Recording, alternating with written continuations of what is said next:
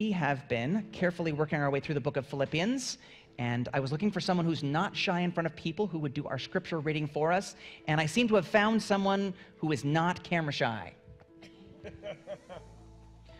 Uh, if you want to open up your Bibles to Philippians chapter 3 and read along with us, it'll be on the screen behind us as uh, we do our scripture reading. I want you to know Christ and the power of his resurrection and the sharing of his sufferings by becoming like him in his death, if somehow I may attain the resurrection from the dead. Not that I have already obtained this or have already reached the goal, but I press on to lay hold of that for which Christ has laid hold of me. Brothers and sisters, I do not consider that I have laid hold of it, but one thing I have laid hold of, forgetting what lies behind and straining forward to what lies ahead. I press on toward the goal, toward the prize of the heavenly call of God in Christ Jesus. Only let us hold fast to what we have attained. This is God's precious word. Thank you, Chris. Amen. What a, a amazing passage of scripture when, uh, when I was a younger preacher. Back in my day, when I was a young wee man, I used to try and weave this scripture into like just about every sermon. I would just be like, such a, a, a powerful and important scripture. I, I, literally would try and weave this into uh, every other sermon if I could get away with it. But I see three main points that I wanted us to focus on that we see in the scripture.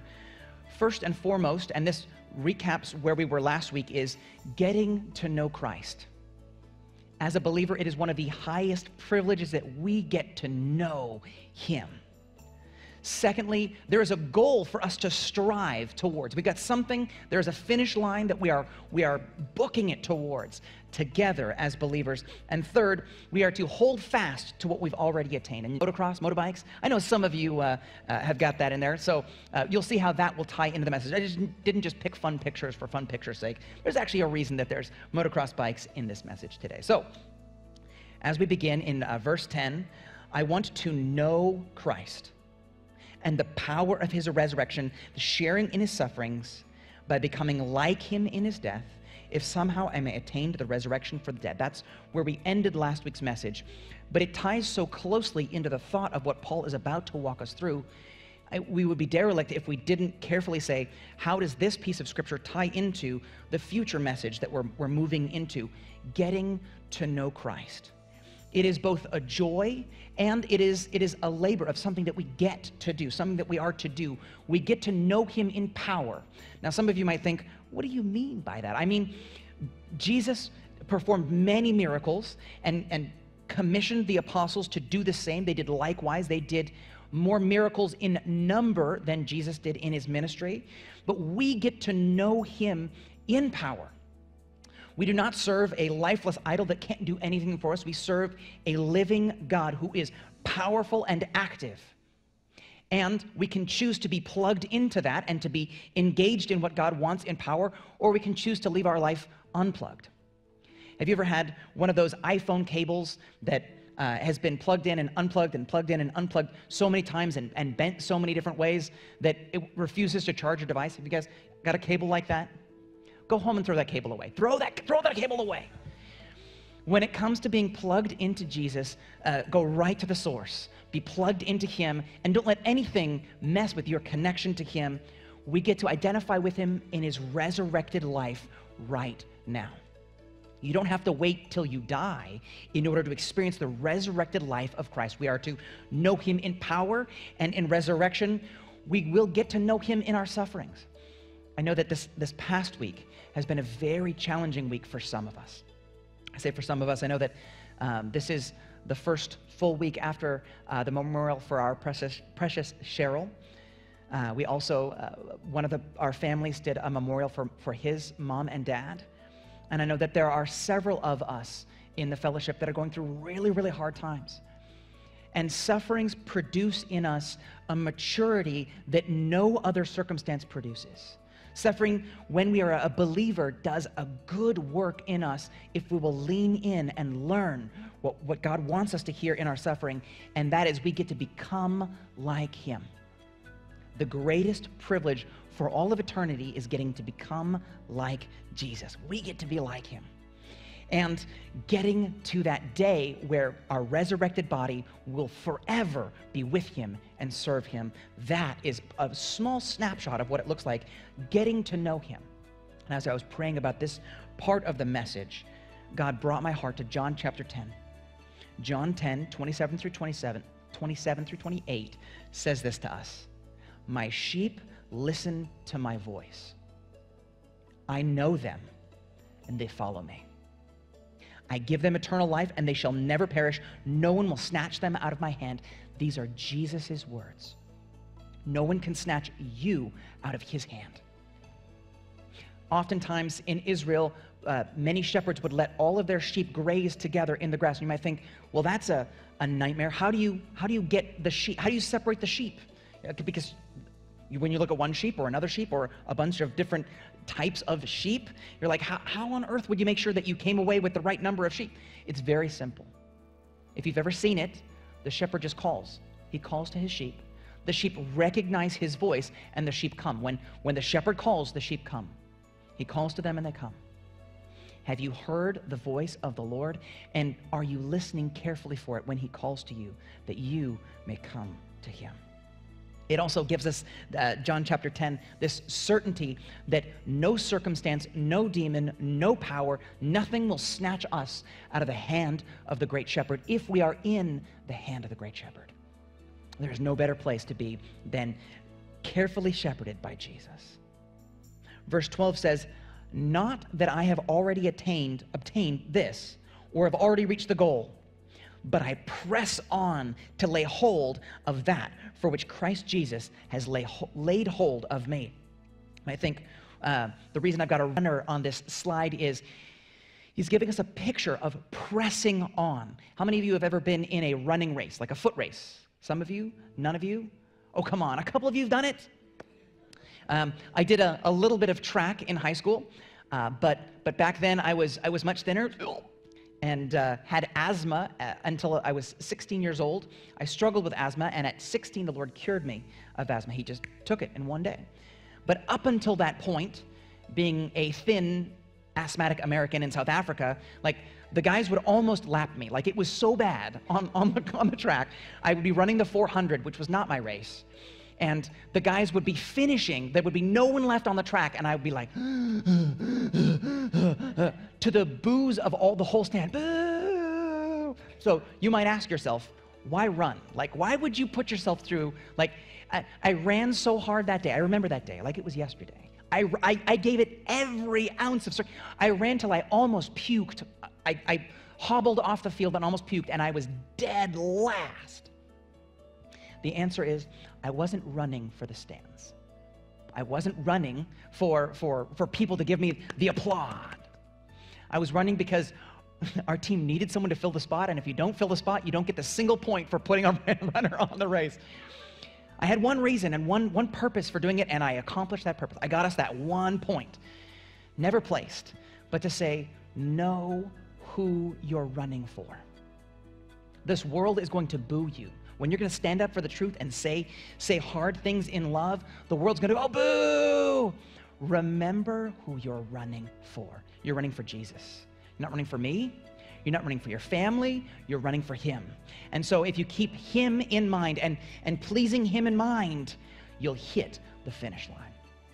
As I was preparing this message, I was reminded uh, if any of you are familiar with YouTube and if you look at the, the algorithms, if you look up uh, uh, didn't get to the finish line. There, are, there are so many videos who are winning the race and don't end up winning.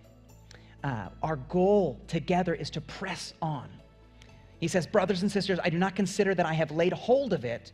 One thing I, that I have laid hold of, forgetting what lies behind and straining forward for what lies ahead, I press on towards the goal, toward the prize of the heavenly call of God in Christ Jesus. I spent some time uh, looking at videos this week, and, and one of the ones that was just so sad, there was, it was a, a, a women's race, and that the finish line is a white stripe that you've got to cross. You cross that white stripe, You've got it. You're first place. And this woman who had pushed and pushed and pushed, and, and she was just ahead of the pack.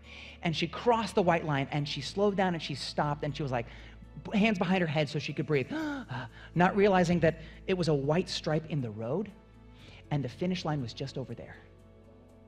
And second place runs right past her, and second place takes the win, and she gets silver or bronze. I can't remember for her specifically. But there are so many moments like that that are fun that you can watch on YouTube. I thought I would share one of them. Maybe you've seen this, maybe you haven't. Guys, go ahead and put the volume up on this one. Is a championship game. The ump called strike three. Hornell wins it. Look at the second baseman. The second baseman knows Oh, something's minute. wrong. Hornell's got to pay attention. He's running up front.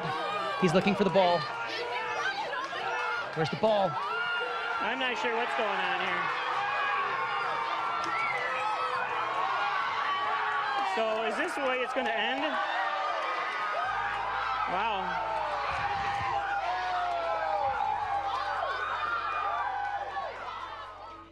Keeping your eye on the finish line. So 6.4 million people watch that, so I'm assuming some of you have already seen that. It is the Horn- Hornell Pal Mac game.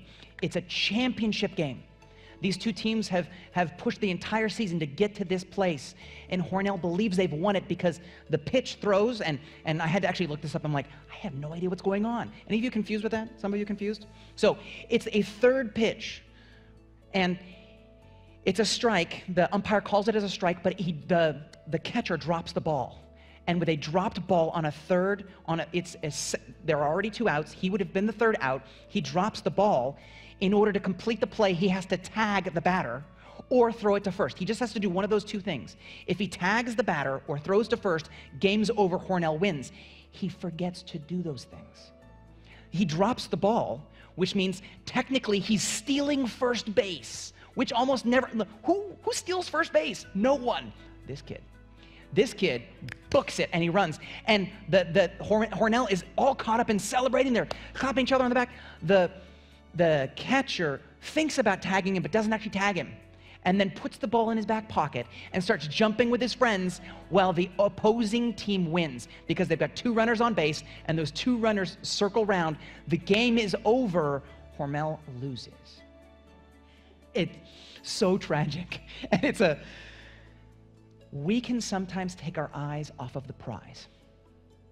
Just like this group, just like this group, celebrating early, taking our eyes off of the prize. And so Paul here is encouraging us in the same way as if you're if you're getting ready for a marathon, your your prize, your finish point is finishing that marathon. Not you don't stop until you've broken the tape. You go all the way to the end. And that is what Paul is encouraging us to do.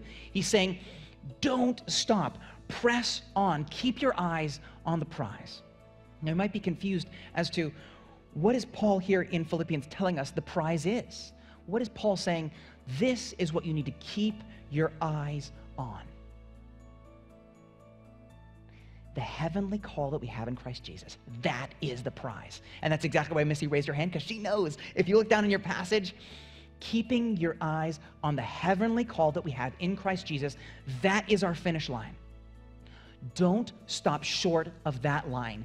Keep pressing on. Um, if you if you look again, if you look on YouTube, I, I saw hours and hours and hours of different uh, Olympians and, and champions and people that that uh, uh, the the biking one was was such a heartbreak. Again, they were doing uh, it was a, a race on motocross race, and they're doing the jumps and they're going around the track, and the gal who was in first place, who's got a solid win, she's way ahead of the other guys.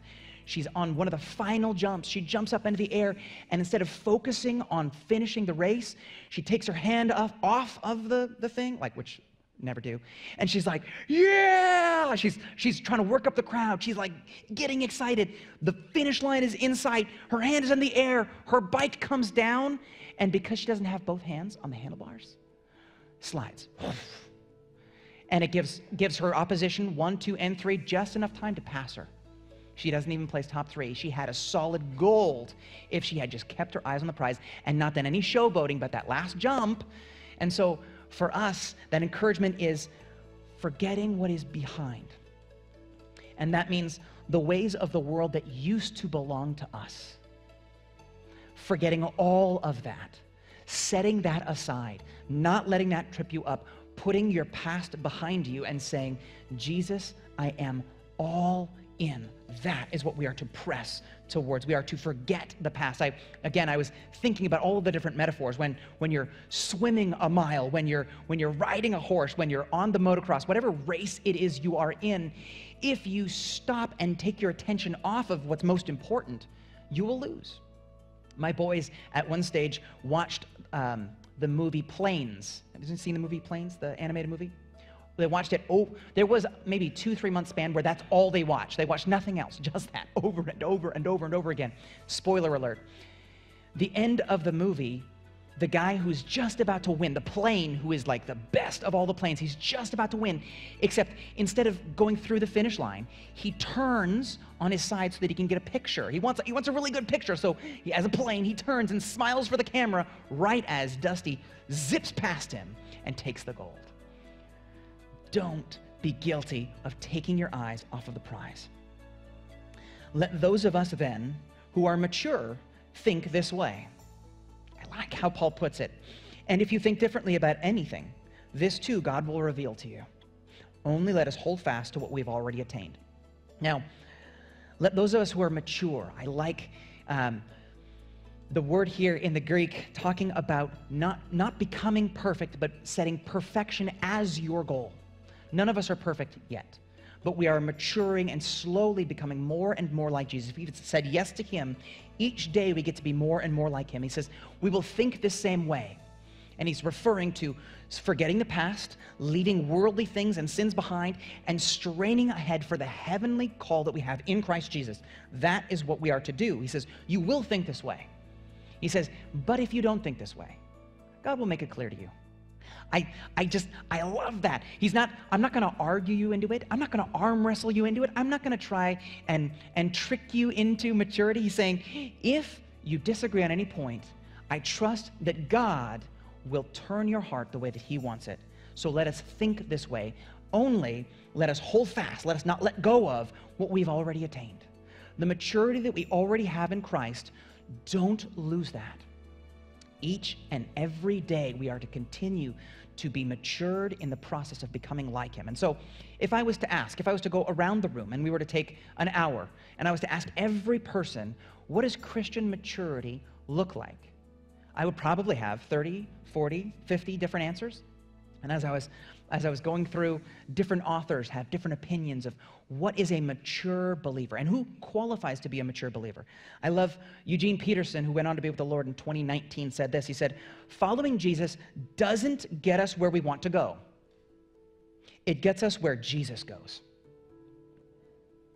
The mature believer says, I'm going to lay my aspirations down and I'm going to go where Jesus goes. What Jesus calls me to do, I will do. I am who he says I am. And so, I, again, I was trying to think maturity itself is such, such a deep and important issue for us to think about. What are some of the ideas of maturity that we could, we could process together and think, how do we get from where we are to being mature? And I think it starts with who I am. If you don't know who you are in Christ, you can't yet be mature in Him. Settling that question is one of the first questions that every believer has to, to answer that. Who am I? And answering that question leads us down the path of maturity. Learning humility over pride. Someone that is filled with pride and always out for their own interests and building themselves up and making themselves look good and focused on what they want and what will actualize their thinking and their life is not spiritually mature. People who are spiritually mature are humble. The third thing that I would say is service and gifts. These three things who I am, humility over pride, service and gifts. These are the things that, that create in us a mature dynamic of a believer who says yes to the Lord and no to the world. Ephesians 4, speaking of maturity, says, Instead, speaking the truth in love, we will grow to become in every respect a mature body of Him who is the head, that is Christ. A mature believer says, My goal in life is to be like him and to serve like him and to walk like him, speaking the truth, which sometimes the truth can be painful. Sometimes the truth hurts. Speaking the truth in love is how we grow in maturity in all of these things. And so there's a personal dimension of maturity that's important that we are to grow in. There is an attitude and an emotional dimension in which we need to, to, grow in. And then there's a spiritual dimension of maturity. It, maturity is not just one thing, it is three separate things. If I was to give you a picture of these things, I would say the head, the heart, the hands. Maturity is not one of these things, maturity is all of these things.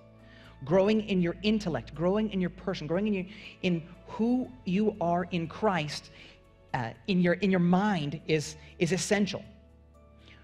Turning over your heart and your emotions and not being ruled by your emotions, but being ruled by the Holy Spirit, turning over the heart of who you are to Him and not being blown by every wind that comes through town is a part of becoming a mature believer growing in service and in your spiritual gifts. You have been gifted by Holy Spirit with specific gifts that He wants to use in His kingdom. Are you using them? Are you activated in them? Or just like we talked about that, that iPhone charger that today when you go home and see it, I want you to throw it away. Are you unplugged from the spiritual giftings that the Lord wants to use in your life? Are you being fruitful in what He has called you to do? Are you serving where God has called you to serve? And sometimes that's uh, amazing things He's called you to do. He's like, this person, I want you to witness to them, I want you to bring them to me. Because he could, he could call any one of us to do that. Or He might say, I want to go do a load of laundry. And you're like, oh, laundry? I hate laundry. Exactly. Exactly that. That's part of how I want you to serve me is in all things. And sometimes we think of bringing someone to Christ as, as oh, and serving my family as, oh.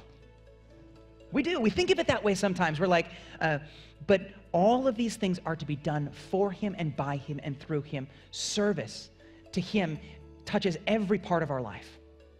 If you think about these three things as parts of the same circle, are you a rounded, mature believer or are you a little lopsided?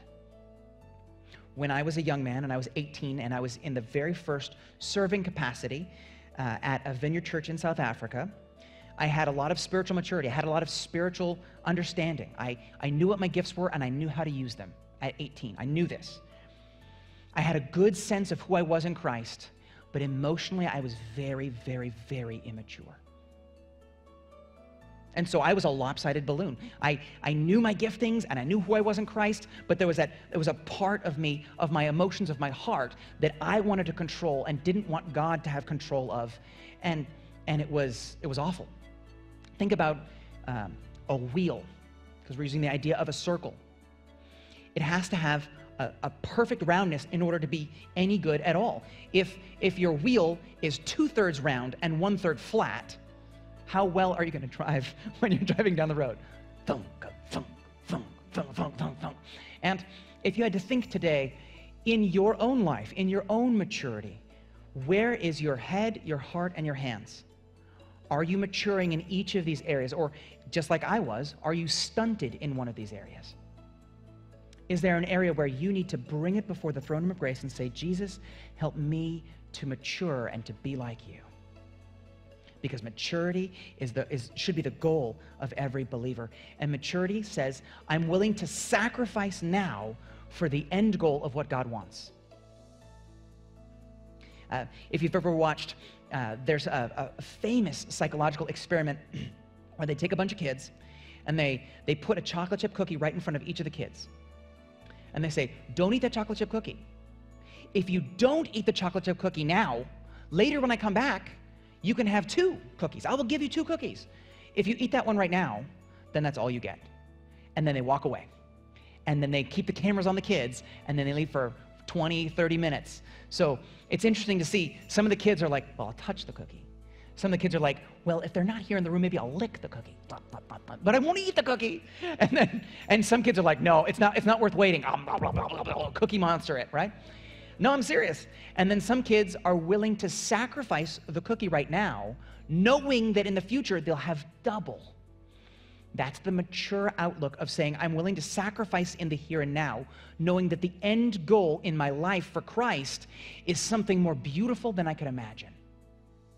I think uh, I didn't even put this in my message, but marriage is a little bit like that also. To say there is a, a sacrifice that happens in marriage. I'm saying no to every other possibility and yes to one woman. It's a beautiful thing of what you're setting aside and what you're committing to for, for life. It is a sacrifice, but one that is so worth, worth taking. Are you mature in Christ? I want to go ahead and invite the band up as we look again at these three things that the Holy Spirit wants to challenge each of us with. Get to know Him, get to know every part of Him. And if you're confused at all about how to do that, grab one of the, uh, you, you know who's, who's around and who uh, walks with the Lord. And, and, and having been around us a little bit, you should see, be like, ask them, what is it you do in your walk with the Lord? How do you get to know the Lord Jesus? Ask the different guys, the different gals, and uh, uh follow along with what, uh, what Scripture encourages. Strive for the goal. Don't forget where the finish line is. And don't stop short of the finish line. Keep pushing forward. And hold fast to the maturity that we already have, to those things that we already understand. Keep doing those things. Our band is already here, and so we're going to pray and we're going to do a worship song, and then something that we get to do once a month, we're going to partake in communion. We're going to do it a little differently. Uh, so uh, if you'll worship with us, and uh, then we'll do communion together. We have victory in His name. And so at the end of our service, I pray that you will come to know Christ. I pray that you will come to know the power of his resurrection, that you will come to know by sharing in his sufferings, by becoming like him in his death. I pray that you will reach the righteous resurrection from the dead. Amen. Have a wonderful Sunday and enjoy your 4th of July. Take care, guys. Bye.